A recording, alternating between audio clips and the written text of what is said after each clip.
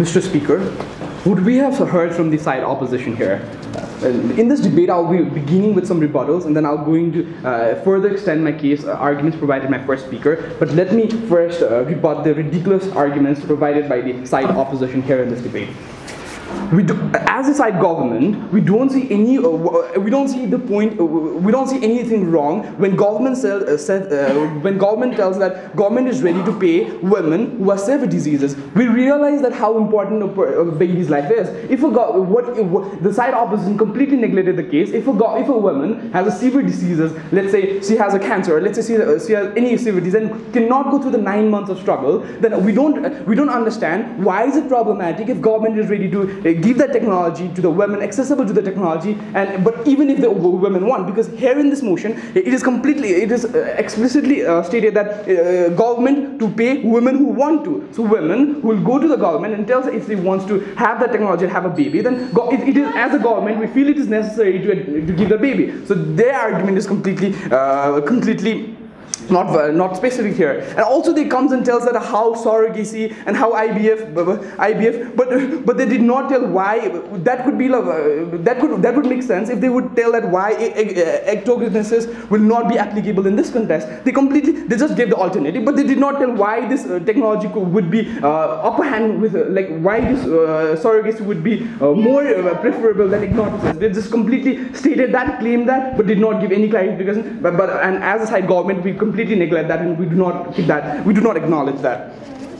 And now again, now again, the first prime minister comes and compares, uh, compares the right to life with contribution to tax. I, I don't think uh, we, we, can ever contribute. The, see, now comes and tells that the life of a person and the contribution to tax, and see now compares it. I don't see what grounds even uh, compares these two uh, things. So no, sir. Uh, and we also realize that the tax, the contribution of tax is not the fault of a person, but then it is the fault of a government, of an ineffective body to realize that tax, and that is completely another department. That should not be even discussed in this debate. So I would, I would move to my uh, another rebuttals.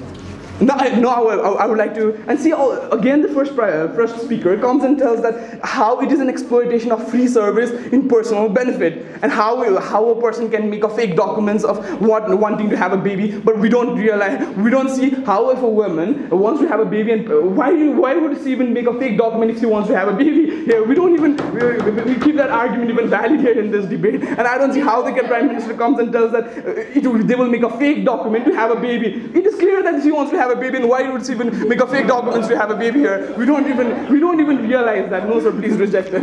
After I think I have like quite much in three minutes I have wished to rebut the ridiculous argument, but that is a necessity that I have to do in this debate. So so now I would like to put go, uh, now I'd like to go forward to the arguments and the case and extend further extend my, by my first speaker here.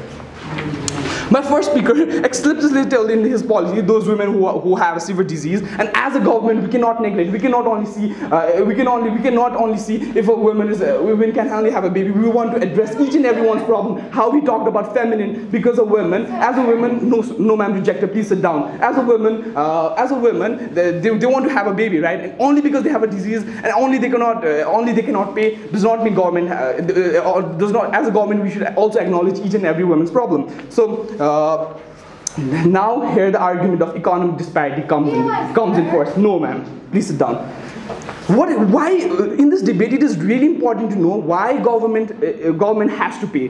We know there are economic disparity in the society. If we don't, what happens when government does not pay in this context? A person who, uh, or, or, let's say a family who, who are richer can afford this, but a woman who, who comes from a really poor background cannot pay this. So what happens? No, ma'am. What happens when government pays this? The, the economic disparity does not come into force. So uh, this is why the government government feels that it is necessary to pay, it's necessary to pay as a government in this very crucial, uh, crucial matter. This is our argument of economic, economic disparity and what happens if government does not pay. This is the, uh, this is the, uh, this is the scenario what government, this side the government would like to keep forward.